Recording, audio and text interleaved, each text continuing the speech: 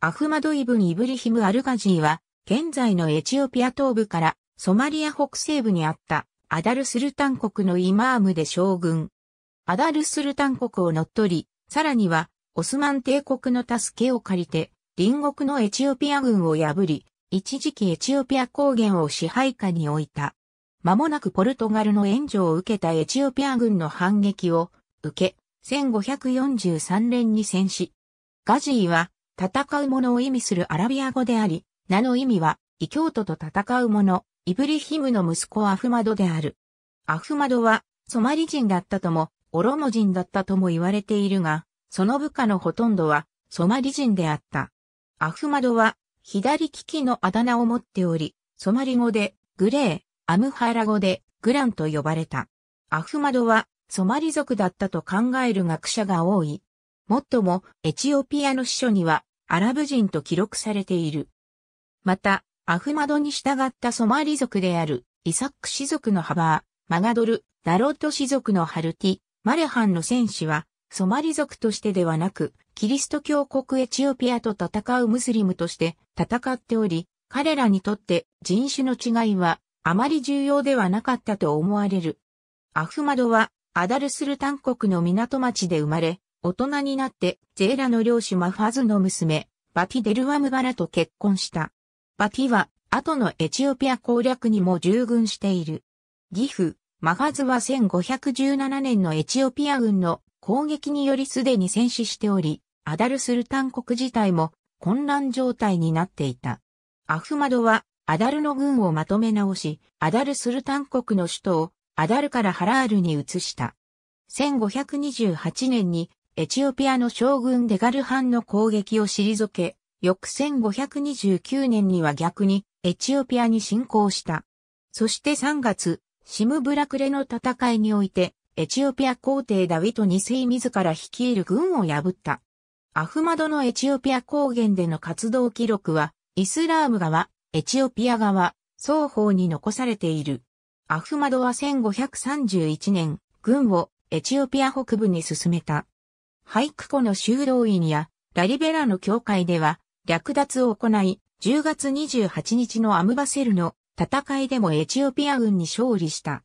アスクム手前のティグレーでも戦闘になり、エチオピア軍を破った。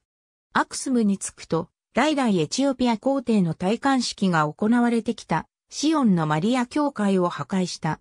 シェワハラール・アムバセルハイクコアクスム・マッサバ・タナコ、シムブラクレオ・フラゼーラ関連地図エチオピアはポルトガルに助力を求め、1541年2月10日になって、ようやくマッサワに到着した。すでにエチオピア皇帝はガローデオスに変わっていた。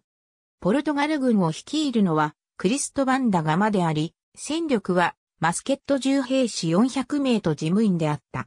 両軍により1542年4月1日、アクスム近郊でジャルテの戦いが行われた。ジャルテは今日のアナサのあたりと考えられている。ポルトガル側の記録に、この戦闘でのアフマドの描写が残っており、ゼーラの王は偵察のため、馬でスーフィートの丘を登った。彼は牙300を従えていた。大きな旗3本もあり、2本は白地に赤い月、1本は赤字に白い月であったと記されている。両軍は交渉などしながら数日睨み合ったが、4月4日、ポルトガル軍は不評法人を組み、マスケット銃と大砲でアフマド兵を退けながら進軍した。銃撃が偶然アフマドの足に当たり、それを機会にアフマドは退却を命じた。エチオピア・ポルトガル両軍は追撃を行い、混乱するムスリム軍を打ち破った。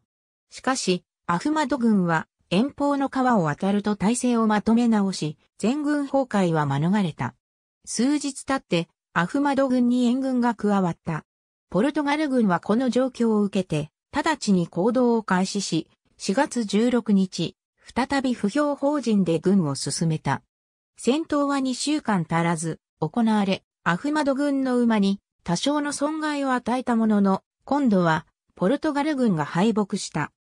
ポルトガル側の記録には、敵は戦いに完全勝利し、我々は敵の牙100ほどを打ち取っただけだった。敵は軍令をよく聞き、逃亡しなかったと書かれている。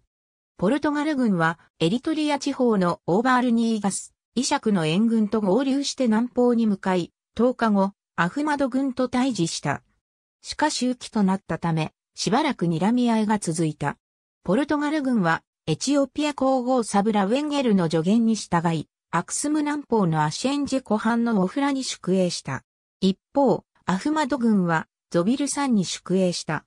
アフマドは、銃の高が勝敗を決めると考え、オスマン帝国に助力を頼んで、マスケット重視2000、大砲、他900名を送ってもらった。一方、ポルトガル軍は、これまでの戦闘や部署振り分けの都合などで、マスケット重視は302まで減っていた。雨季が終わると、アフマドは、ポルトガルの宿営地に攻撃をかけ、その大半を殺し、140名を捕虜とした。司令官のクリストバンダガマも、また部下10名と共に捕まり、イスラームへの改宗を拒否して処刑された。ポルトガル軍の生き残りは、エチオピア軍と合流し、さらに、ポルトガルからの援軍も加わった。1543年2月21日、ポルトガルエチオピア連合軍9000、アフマド軍1万5000で、ワイナダガの戦いが行われ、アフマド軍は敗北した。この中で、アフマドも戦死した。アフマドの戦死により、アフマド軍は崩壊した。アフマドの妻、バティデルワムバラは残った兵と共に、戦場から逃げ、本拠地のハラールに戻った。バティは体制を立て直すため、老いのぬるい分ムジャヒドと結婚し、軍を再編した。しかしすでに反撃するだけの力は残っていなかった。アフマドの侵攻は、その後、長く、エチオピアで語り継がれた。20世紀のエチオピア皇帝、ハイレセラシエ一世も回想録の中で、幼い頃に、グランがエチオピアの町や教会を破壊したとの話を聞いたと記している。イスラーム側の記録として、シハーブッティーン・アドマド・イブン・アブドゥル・カディールがアラビア語でエチオピア征服を書き残している。ただしこの多くは失われており、1537年のタナコでの戦いについてのみ残されている。探検家のリチャード・フランシス・バートンは、この残りの部分をイエメンのモカあるいはフダイナで見たと証言しているが、これに相当するものは今日まで見つかっていない。アラビア語からの翻訳は、1897年から1901年にルネ・バッセがフランス語へと行っている。英語への省訳は、リチャード・パンクハーストがエチオピア王室年代記の中で行っている。英語への前訳は、ポール・レスターステンハウスが2003年に言っている。ポルトガル側の記録として、1902年に R.S. ホワイトウェイがポルトガルのエチオピア探検の中に記している。エチオピア側の記録として、エチオピア国史のダビト2世、ガローデオスの章に記載がある。ありがとうございます。